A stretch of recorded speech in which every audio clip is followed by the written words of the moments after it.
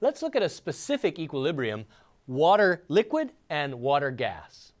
Now, here I have water liquid and water gas at about 25 degrees C, and they're in equilibrium. There's a little bit of vapor above this liquid. We could write a reaction quotient for this, and when we do, that reaction quotient is the pressure of H2O. That's because the liquid water is pure liquid water, and pure liquids and solids do not appear in equilibrium expressions. So products over reactants, products is the partial pressure of the gas, the reactants are liquid water, but it's a pure liquid, so that doesn't appear in the equilibrium expression. So this reaction quotient is just equivalent to the partial pressure of the gaseous water. Now, that's the vapor pressure of water. When this is in equilibrium, that will become the vapor pressure.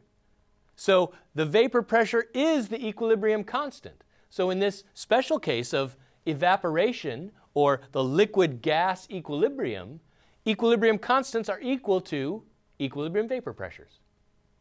And we could find those equilibrium vapor pressures. You could look at a PV diagram and you could say, well, at a specific temperature, that's the vapor pressure of gaseous water.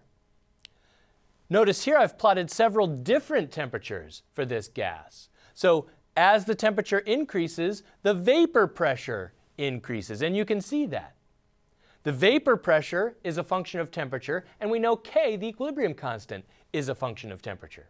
So that makes good sense. Now, let's look at the exact value, 0.03 atmospheres at 25 degrees C is the value of the vapor pressure for water at 25 degrees C. So that's the value of the equilibrium constant for this equilibrium. We could also find that on a pressure temperature diagram, a phase diagram.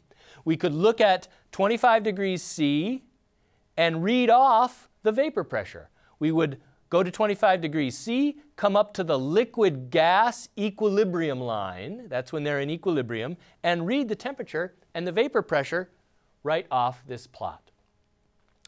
Now, equilibria depend on the direction you write them. If I write the reaction quotient for this in the reverse direction, now the reaction quotient is 1 over the vapor pressure, the partial pressure of water. And that's in general true. If you reverse a chemical reaction, you take the reciprocal of the reaction uh, quotient and the reciprocal of the equilibrium constant.